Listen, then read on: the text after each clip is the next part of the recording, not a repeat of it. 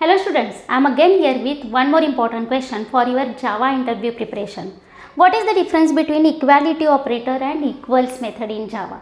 See, this is a equality operator. You can also call it as a comparison operator, relational operator.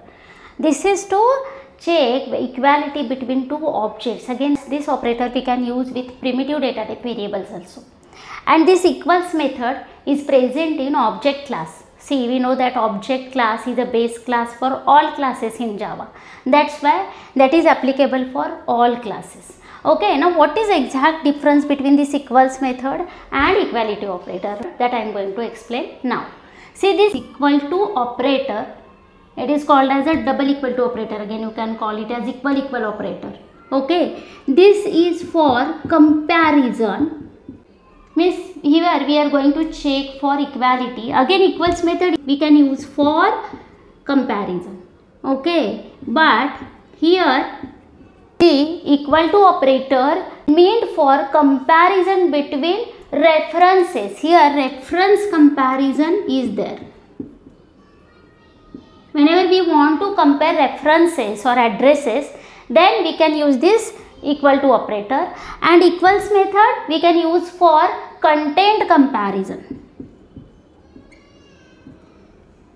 Getting? Means suppose two objects are there whether those two objects are having same contents or not that we can check with the help of equals method there we cannot use this equality operator. For example see suppose we know the string class. This is a inbuilt class in java Suppose I am creating one object of this string class like string s1 is equal to new string and suppose the contents are let a, b, c. Okay and suppose one more object I am creating like string s2 equal to new string again same contents I am writing here.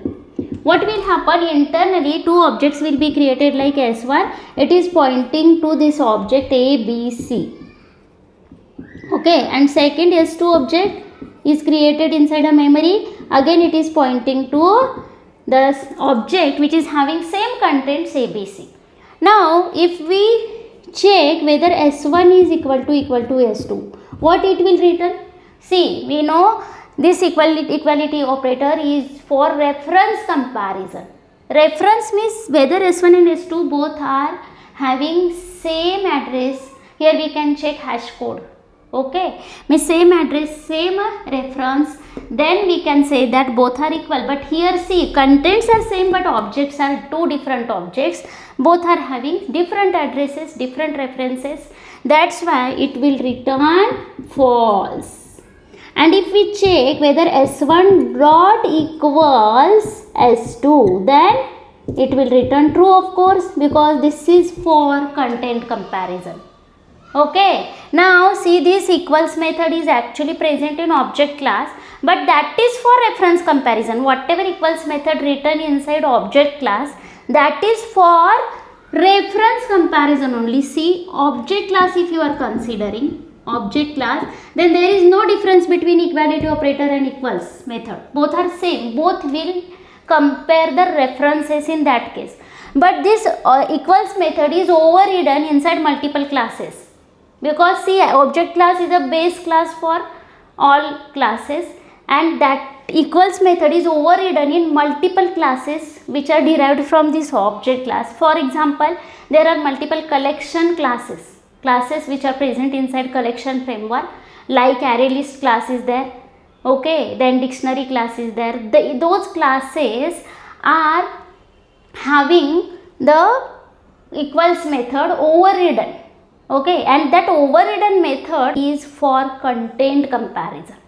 Next see this string class is again derived from this object class. Inside that string class again the same method is written. And there that is meant for content comparison. Okay but see one more example i am giving here that is string buffer class. String buffer class is having again that equals method but that is not overridden inside that string buffer class. Suppose we have created two objects of string buffer class and we are using that equals method with those two objects then that will compare the reference. In that case equality operator and equals method both will give you same answer.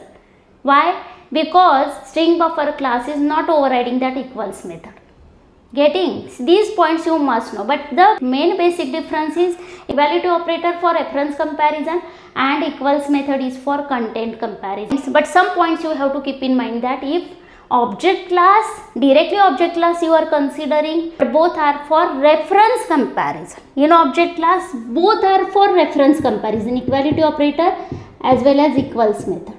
Okay? Both are for reference comparison always keep in mind. One more string class then uh, all the classes whatever derived from that object class whatever present inside that collection framework.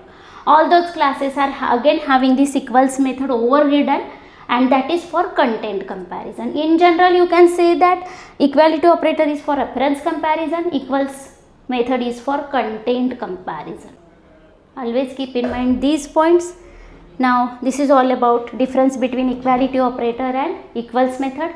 In the next session we will see one more important question for your Java interview preparation. Till then take care. Bye bye. Thank you.